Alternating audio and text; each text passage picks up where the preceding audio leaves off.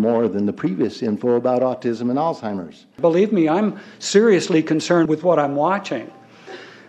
As a wildlife biologist, I've been watching the ecosystem collapse. When you lose all your stream organisms, when you have aluminum overload in your streams, you're killing your microbial bacteria and you're disrupting the entire ecosystem. So it goes way beyond just a little bit of pollution. Um, how did Monsanto know to create aluminum resistant plants? I don't think I've heard anybody ask that question. Okay. Insects. I've done studies in Siskiyou County. They're at 20% of normal. The aquatic insects basically made a nosedive in 2006 to about 20% of normal. So far this year, I've sampled 200 trout stomachs. 98% of them are empty. So uh, sorry about the trout fishing, fellows. The mayflies, stoneflies, dipterus, and caddisflies are uh, damn near gone. The terrestrial sampling is down to about 20% of normal, except for pest species like ants. Uh, we're seeing a loss of the major bird species, and as the gentleman said, the ecosystem is unraveling, and Audubon's been telling you that for years. The materials that are going into the environment right now, aluminum oxide nanoparticles and barium nanoparticles, these just happen to be the same materials that they use in nanothermite explosives.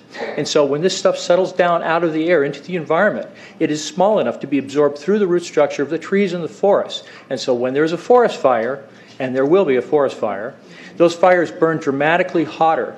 The point is that the, the, the cost of firefighting, the cost in the, in the healthcare system have nearly doubled in the last 10 years. The amount of acreage is lost because of fires. The impact on human health is dramatic.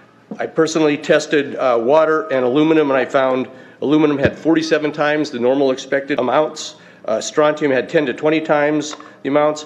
Barium was 20 times. This is what the stuff looks like here I collected, it looks, most people just think it's a cobweb, but I tested it, it has outrageous amounts of barium, strontium, and aluminum, but they destroy the sample, so I'm not letting this get away from me. You know, these tests are international in scope. We're seeing this all over the world, guys. Okay, pH of acid soils is 20 times more alkaline. The aluminum in the soil has doubled in the last 10 years. The rain normal was 5.6, it's 20 times more alkaline. Aluminum blocks essential nutrients. I am unable in my garden to restore normal pH, and that's because nanoparticles are now in the circulatory systems of both plants and humans. The Air Force conducted a study starting in 1993. It was called In Vitro Toxicity of Aluminum Nanoparticles in Rat alveolar macrophages. That's a real fancy way of saying testing the effect of aluminum nanoparticles on the white blood cells in the little air sacs in your lung, the alveoli. And what they found in this eight year study was that these particles, when you're exposed to long enough, it suppresses the ability of your white blood cells to defend you from airborne infections coming into your lungs. So it suppresses your immune system. But they also found that these same particles, once they get into your system, they can actually go through the barrier in each one of the cells. They get inside the cells, and these particles can actually suppress the ability of mitochondria which are in the cells that help to gobble up toxins and things that would be harmful to the nucleus and the, the reproduction process of the cells in your body.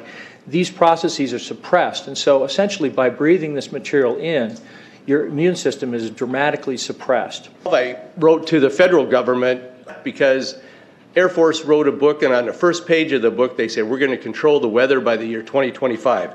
I asked them, What are they doing spraying this, these chemicals on the public? I said, There's violation of United States Code 50 USC 1520, which prohibits the American government from experimenting on the U.S. citizens with chemical agents. I said that law also requires the who's ever experimenting when the federal government does it that they have to report to Congress within 30 days. They wrote back. They said they don't know what I'm talking about. We have enough evidence that there's a spraying going all all over the place.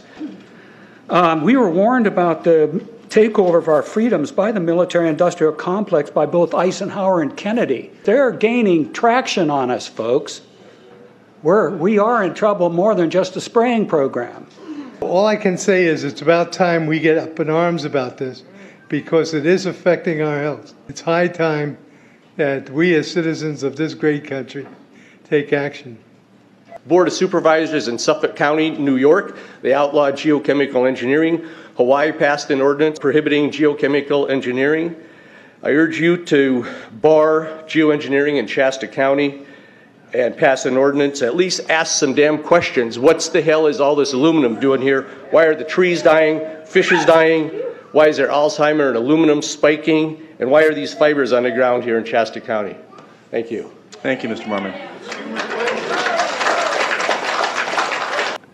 Today, the Shasta County Board of Supervisors has been the beneficiary of some sincere, passionate, and knowledgeable comments. And I thank you for those.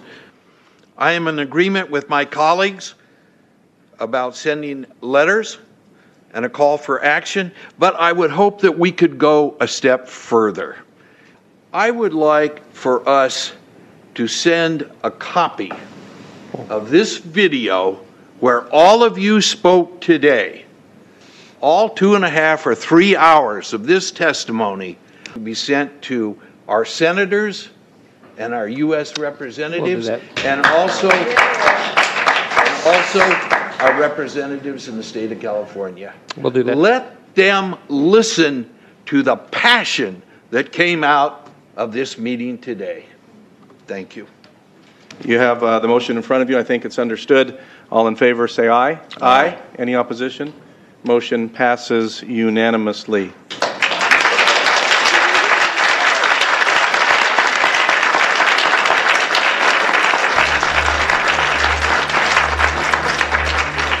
Wouldn't surprise me at all if the response is one that exceeds far the boundaries of Shasta County in terms of the platform that is offered, as evidenced by those who attended today from around the world. That's very impressive.